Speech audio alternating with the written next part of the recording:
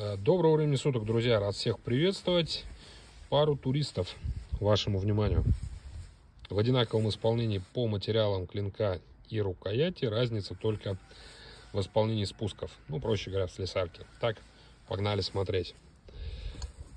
Клинки обоих ножей выполнены из кованой стали Х12МФ.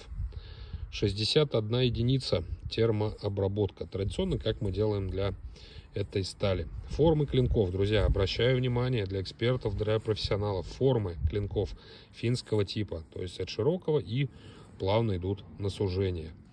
То есть спуски на этом ноже, на этом клинке от обуха легкая вогнутая линза, то есть нож резачок.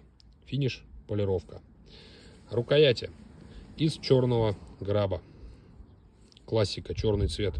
Вставка акриловый композит. Пропитка, как всегда, Даниш. Больстер наборный, Тюраль G10 на обоих ножах. Темлячок и бусина с каждым ножом, как всегда, присутствует. Размеры первого ножа, друзья. 265 общая длина, клинок 140, ширина 28, наибольшая вот здесь, как видите, потом сужается. Ну и в обухе 3 и 2. Первый красавчик. Есть. Второй нож, друзья. Здесь уже слесарка действительно по финским мотивам, то есть проще. Да, спуски 2 трети и фальш. Практически на всю длину обуха. Ну, уж если совсем просто говорить, то слесарка ромбик. Также финиш полировка. Рукоять идентичная. Сами все прекрасно видите.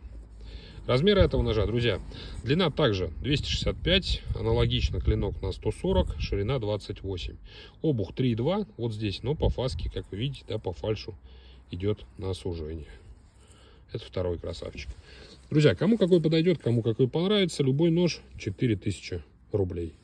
Действительно очень достойные работяги.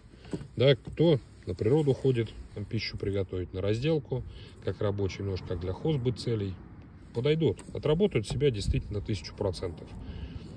Потому что, вот неоднократно говорил, еще повторюсь, э, допустим, варианты классических ножей, классик, да, универсал, таежный, тот же турист, у многих работают на дачах, да, на кухне, на полевой кухне, скажем так.